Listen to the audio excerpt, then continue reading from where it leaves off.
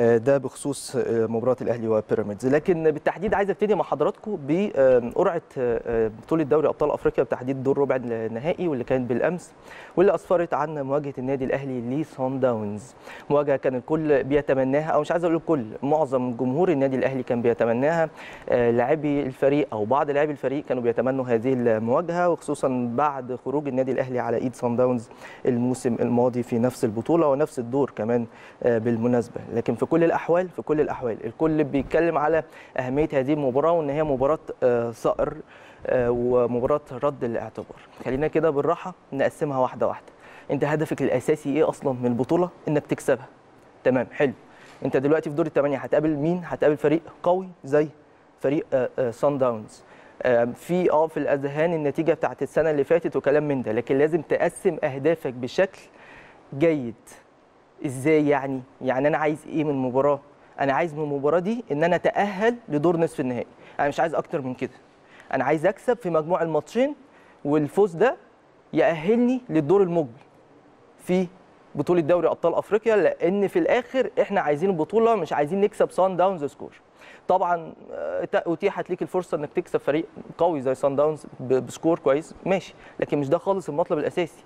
مش ده المطلوب من لعيبة النادي الأهلي. لا عشان ما يبقاش الموضوع فيه ضغوط كبيرة على اللاعبين ولا حاجة. آه كجماهير بالنسبة للجماهير فعلا هي مباراة رد اعتبار. مباراة رد الاعتبار هيبقى من خلال فوزك في المباراة وتأهلك مش هيبقى من خلال عدد الأهداف عشان برضو الموضوع يبقى واضح. آه انت عايز ترد الاعتبار فعلا في هذه المباراة. إزاي؟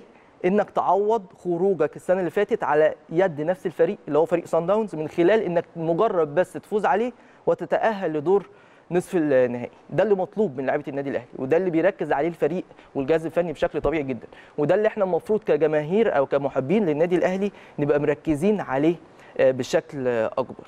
وزي ما قلت لحضرتك لو فرصة جت لحاجة أفضل من كمان إنك تتأهل بس ماشي خير وبركة مفيش مشكلة. لكن برضو لازم نأكد إن الأرقام الكبيرة والنتائج الكبيرة دي بتحصل مرة في العمر خصوصا مع فرق كبيرة زي الأهلي أو سان داونز أو فرق الكبيرة يعني في قارة أفريقيا. فالأولويات دايما هي التأهل للدور المقبل دور نصف النهائي من بطولة دوري أبطال أفريقيا ورد الاعتبار من خلال الفوز على سان داونز بأي نتيجة تؤهلك لدور نصف النهائي في بطولة دوري أبطال أفريقيا. لكن في المجمل البطولة السنة دي بصراحة منتهى القوة منتهى القوة. كل المباريات في دور الثمانيه تحديدا يعني تحس إن أنت إيه بتتفرج على ال Champions League أوروبا. مع فرق المستويات طبعا لكن على أسماء الفرق. أهلي صن داونز ترجي الزمالك ماتش قوي جدا. الرجاء مازيمبي. الوداد نجم الساحلي. فرق كلها خدت بطولة دوري أبطال أفريقيا وفرق كلها قدرت إن هي تسطر تاريخ ليها في أفريقيا وأسماء كبيرة جدا. لكن خلينا نعرض لحضراتكم شكل طريق النادي الأهلي في البطولة تحديدا وده اللي يهمنا بكل تأكيد. الأهلي هيلاعب سان داونز بشكل رسمي خلاص يوم 28 فبراير بعد ما حدد الاتحاد الأفريقي ميعاد هذه المباراة. مباراة الذهاب هتكون في القاهرة بإذن الله يوم 28 فبراير ومباراة الإياب هتكون يوم 6 مارس هناك في جوهانسبرج بجنوب أفريقيا. الأهلي بإذن الله تعالى لو كسب بإذن الله إن شاء الله هيقابل مين؟ هيقابل اللي كسبان في طريقه من الوداد والنجم الساحلي. أيضا هتبقى مواجهة في منتهى قوه ما بين الفرقتين دول وهتبقى منتهى منتهى القوة كمان لما الأهلي يقابل إحدى الفريقين. لكن إن شاء الله الاهم إن إحنا نعدي أول خطوة.